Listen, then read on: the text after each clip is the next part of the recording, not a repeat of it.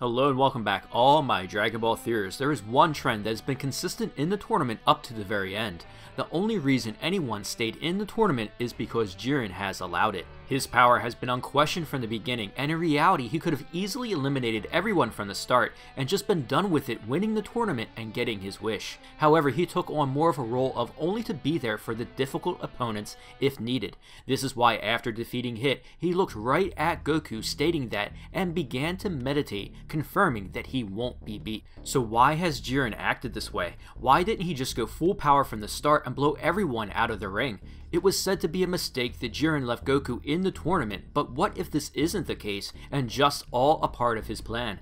What if Jiren wants to actually see Goku's full potential? From the moment Goku attained Ultra Instinct Omen, Jiren has been intrigued and seemed to notice that heat and Goku's limits, but still even then, he didn't eliminate him. Is it cause of curiosity to see what drives Goku, or something else more selfish? Jiren has a plan, and that is why he is there. It isn't just because Universe 11 needs him. He came for the Super Dragon Balls, but what if somehow Goku now is part of this plan, and he has been pushing him to surpass his limits again and again to become stronger? There is a saying, it definitely is lonely at the top, and even before Goku awakened Ultra Instinct again, Jiren decided to beat him down instead of just going for a finishing blow.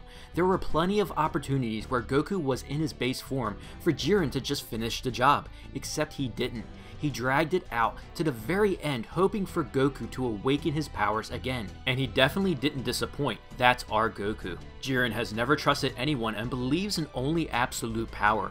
Goku wants to fight the strongest opponents which drives him and it is etched into his core. It was inevitable these two would meet in the final battle, but Jiren sees something in Goku and that is the reason why he is still in there.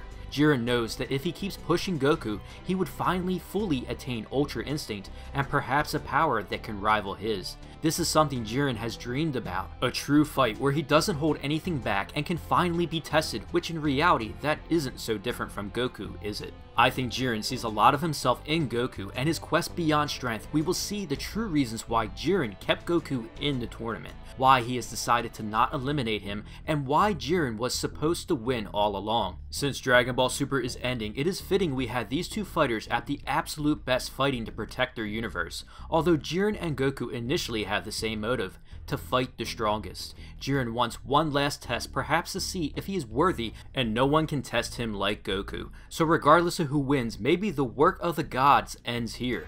Although there is no mistaking it, that Jiren has been hoping for this moment. Is his absolute power enough? Well, now I want to hear from you. Who do you think will win this epic fight? Do you think Jiren has been secretly training and pushing Goku to constantly surpass his limits? Is this a mistake or is everything going to Jiren's plan? I always love to hear your theories in the comments below, and if you enjoyed this video, don't forget to hit that like button, and please subscribe and turn on that notification bell to keep those theories coming.